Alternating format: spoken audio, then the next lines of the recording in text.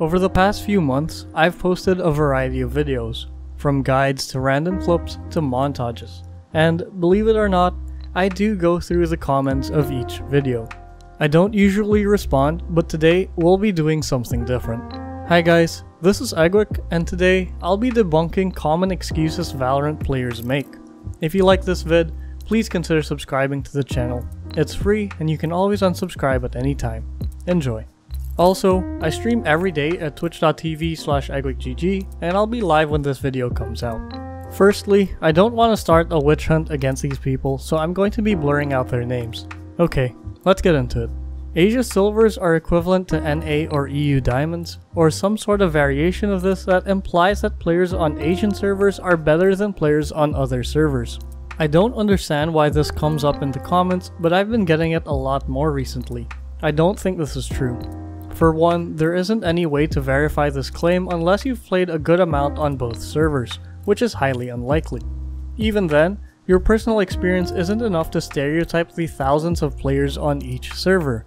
The basis for this comment usually comes from watching NA or EU players gameplay. But what's funny is that when I played in Silver for my No Crosshair to Diamond series, I had a bunch of people commenting that, oh, Herder, NA Silver is so bad. In Asia, they would one-tap you every round, Herder. But I actually play on Asian servers and the clips they were watching were against Asian players. This excuse is more about how lower ranked players view themselves rather than the actual skill level of players across regions.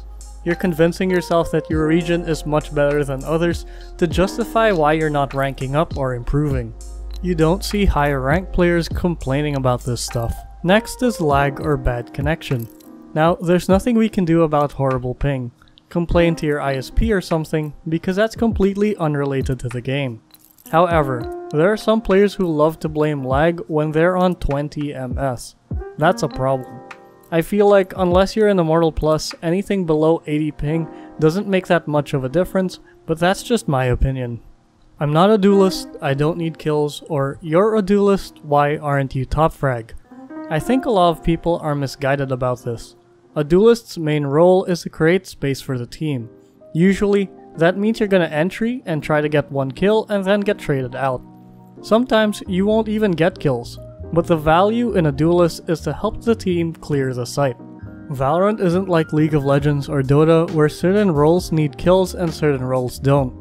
Any role should be able to frag out given the right circumstances, and the duelist shouldn't be expected to frag out all the time. This mindset is so common in low elo, and I don't think it's correct. I am literally Sinatra, but I can't rank up because my guards only give me 30 minutes on my computer a day.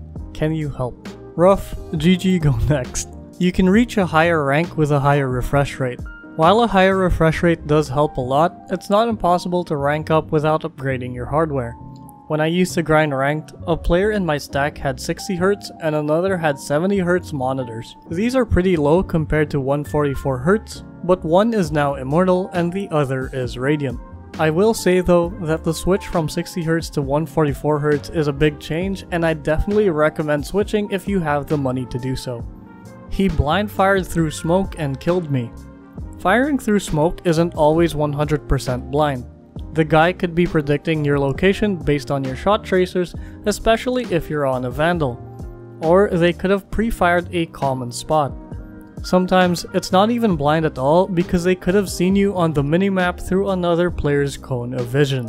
While there is some luck involved with spraying through smoke, the enemy's decision to fire through smoke isn't random, and if they have good crosshair placement, they're bound to get a few kills.